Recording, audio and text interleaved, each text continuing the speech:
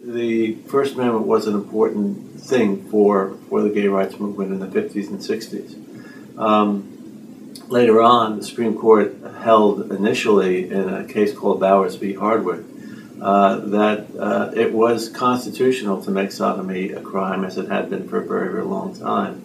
Uh, and specifically uh, that uh, homosexual sodomy could be singled out. And of course, now we're facing the same sex marriage issue. And that really just involves a, a very simple question whether it's under the Equal Protection Clause, whether it's rational to keep um, um, gay people from marrying, uh, given the fact that they are certainly as capable of long term relationships and have every interest in um, proclaiming their commitment to each other.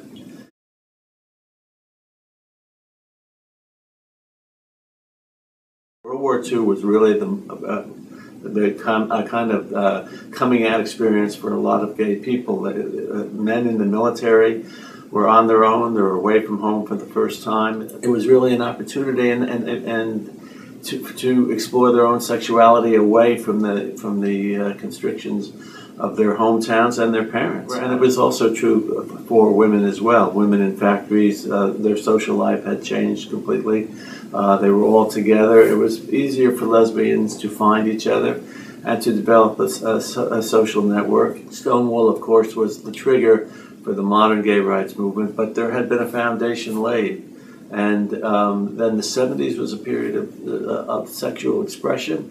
There, there were some uh, political uh, uh, aspects to it. Um, but then you have the AIDS crisis, and I think that AIDS crisis really changes the trajectory of the gay rights movement. The gay community needed uh, research done, and they needed um, all, all, sorts of uh, social services, and uh, uh, that was important. And I think the AIDS movement made it impossible for any gay man or woman to ignore uh, the fact that uh, they were living in a political world, uh, one that they needed to know about and they needed to uh, influence.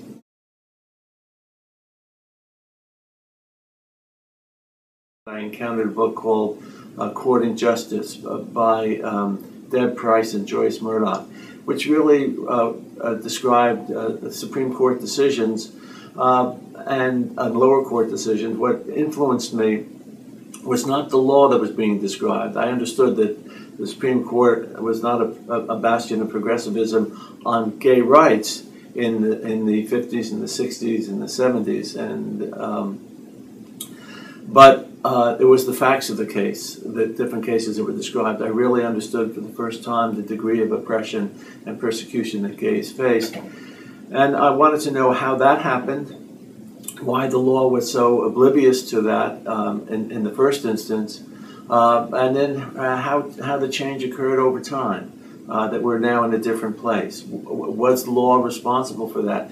Were we a, were, was was law as an institution and the legal institutions a catalyst, or was it was it an obstacle? And what I found was it was a little bit of both actually. Uh, writing this was a real pleasure. Um, I, I was a lawyer for many years and uh, people have said the book is very clear, and uh, and I appreciate that.